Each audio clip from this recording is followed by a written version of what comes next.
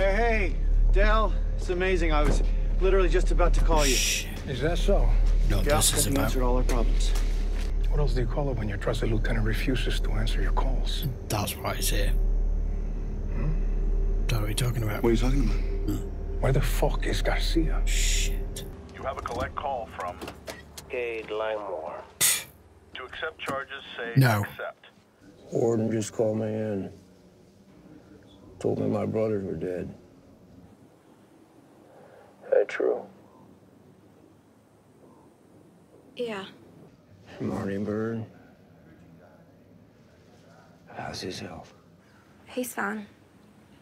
You and me are gonna talk in person. Perfect. Listen, Daddy, um, Your call is no longer connected. I know what happened, you know. I figured it out when the guns went missing. Yeah. They were gonna kill him. Except he got to them first. That's what he Marty thinks. Byrde doesn't have it in him to kill someone. Not even in a chicken shit kind of way, like a rigged doc. I don't know. I've got no idea. Del, hang on. Oh, you're not going to be able to Fuck! walk. Why would I do anything to him? I've got a plan. You didn't give me the details. I'm getting my fucking toenails ripped off. Well, you got a warrant to go in. I don't. But if this fella's got no reason to be suspicious, there's only one main road in and out. So you wait outside that. I'll provide you as much backup as you need, and he'll roll straight into your arms. Darlene and Jacob grow and control all of the heroin in this area. Congratulations. They have a distribution problem, and, and I'm proposing that the cartel becomes the sole buyer and distributor of their product. And you make good money controlling all the heroin in this area? Yes, we do. Buying the product in this region would mitigate your risk, and it would alleviate their distribution problem. All the way here, all the way there, all the way up into Jefferson City. It hits the Missouri. It's an actual branch of the Missouri River. Missouri law states that a riverboat casino can be built within a thousand feet of any approved river. The Missouri River makes that list.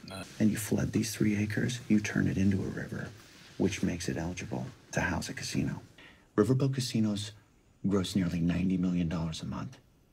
A month. Besides being incredibly profitable, a casino will be able to handle all of the money laundering needs from your operation And his. And You of yours. smart bastard. If I had to guess, I would say that your goal is to get some kind of leverage over that power company that displaced your people long ago. A casino would give you a lot of money, buy a lot of land. It would give you a lot of political capital. Yeah, by a lot of pockets. I need to make a phone call. Someplace private. We have a deal. Okay. Okay. I'll leave it to Marty here to work out the details. Can move to Missouri and somehow convince me to partner with a bunch of rednecks. I'm sorry, what was that? Oh, don't say that. To partner with a bunch of rednecks.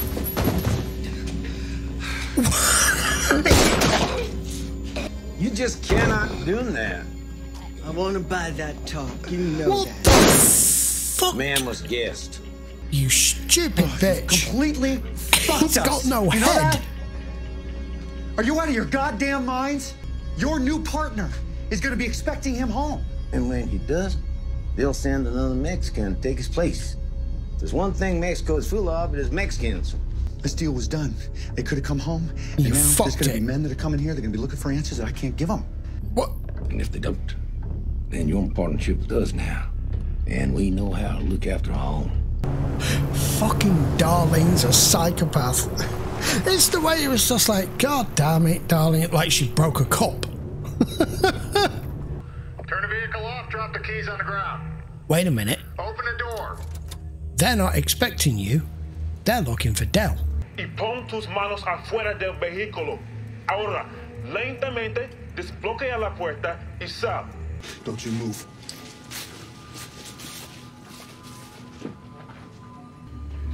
Wipe it in the dirt. Wipe it in the dirt. Yeah, wipe it in the dirt. Don't let me see it. Who? Camino Del Rio. Where the fuck is he? He's not here. He's dead. I don't know who that is. Then he's out of here. What? Wait, where are you going? I'm pulling this out of the way, and I'm going up there. Yeah. Yeah, no. No, I can't let you do that. You what? The warrant was to locate the car. We found it. He's pissed.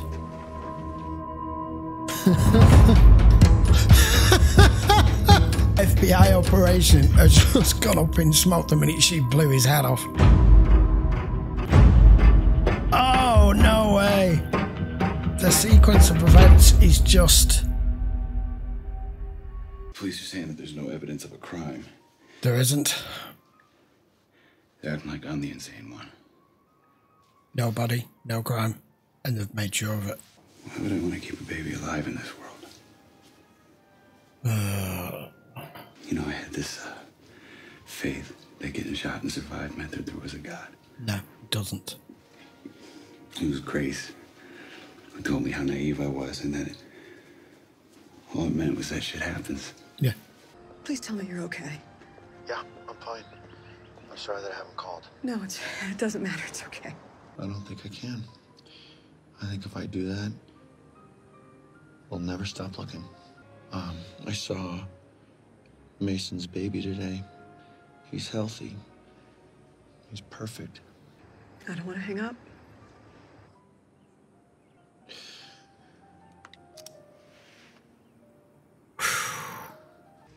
Give me the keys. Is it unsafe there right now, right this second? Honestly, I do not know. I mean, we should at least stay together. We won't even know where to turn once we get out of this parking lot. I mean, we'll just be driving. We. I don't want to be Mike Fleming. Name, sweetheart? I'm old enough to decide this for myself. That's not what I meant. Well, The second I become Mike Fleming, that means Jonah Byrde is dead. Well, that's how it works.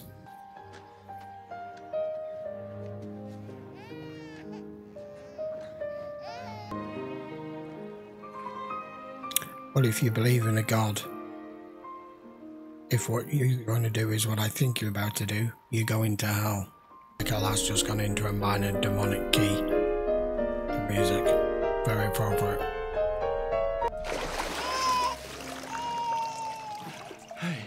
How the fuck is that kid still alive? they want to stay together as a family. Dad? Yeah.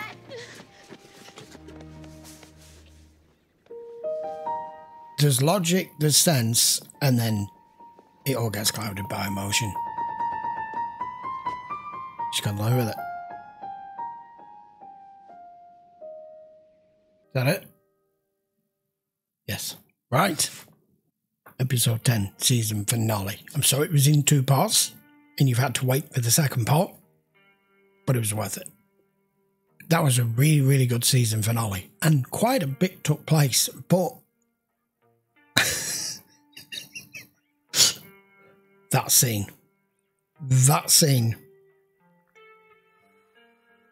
I was so surprised at the ingenious plan that he'd come up with that involved Del, the cartel, and the Snells, and him all working in conjunction with their own little part, with their own little piece of the jigsaw because he wants to build a casino, and that was very smart. That's what he was doing, looking through all the records of the town earlier in the episode,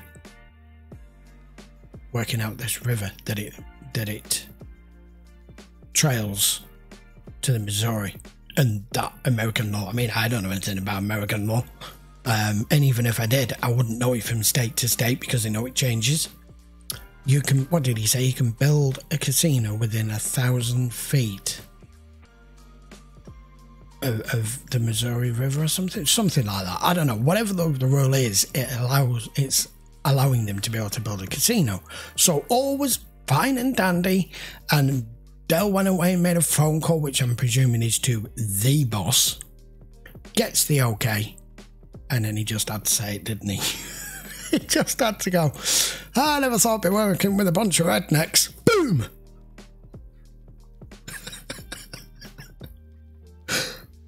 that scene shocked me, especially because they fucking showed it as well. not only did they show the gunshot and his head fly off, they showed the aftermath as well. And the complete nonchalant, laid back attitude of Jacob of, God damn it, Darlene. Like it's something nothing, like she's spilt something on the carpet or. the, the, the Snells are either with, have got the biggest pair of balls in history or they are what I expect them to be king of their own land and think they can just handle whatever comes their way and are completely blind to the world around them. If the cartel find out what you've done and they descend on this little town, well, we all know, don't we? I don't, I don't need to explain. and Marty's tried to do his best to keep it all together whilst at the same time trying to ship his family off, which was the right thing to do. But like I said, the emotion side of thing comes into it, and you can see Wendy doesn't want to go. Her, his kids definitely don't want to go, and the kind of railroader roaded her into coming back. So they are facing whatever comes next together. Where the hell start the start season two is gonna go, I have no clue. But for an opening season, the writing, the atmosphere, the level of action, the intensity, the the constant. There's like a an overall, you know, like when you're watching horror films, especially the last decade or two's worth of horror films, especially found footage stuff or things like that, and they have that constant hum and drone going in the background to, to heighten your senses. Because we all have it in us as humans the fight or flight feeling.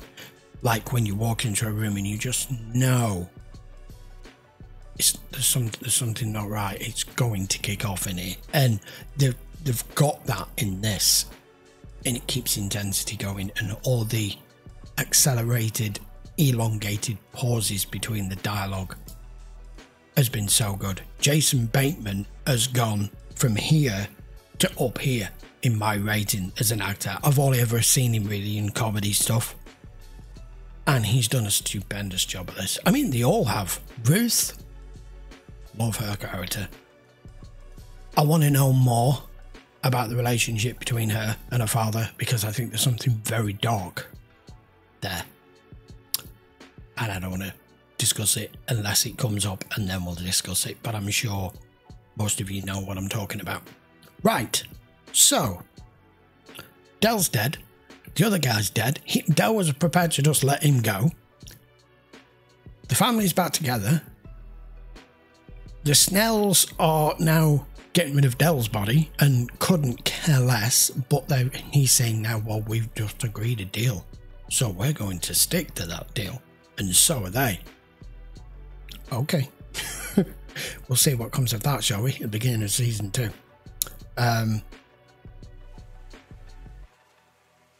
God knows what's going to happen if Ruth's father gets out of prison. I don't know how long he's got. I'm hoping he's in for the duration, and it's just, you know, the scenes are just between her talking to him in jail. I don't know how long he's going to be there, but I have a feeling they've put him in it purposely for at some point for him to be released or escape or something. I don't know. Right, guys, I think that will do for season one. I cannot wait to see where season two starts and we'll be back for that next week. If you want to watch this in full length, check the link in the description. You can go watch it over on Patreon. Um, it's split into two parts, but you can watch the full episode because it was like an hour and a half long.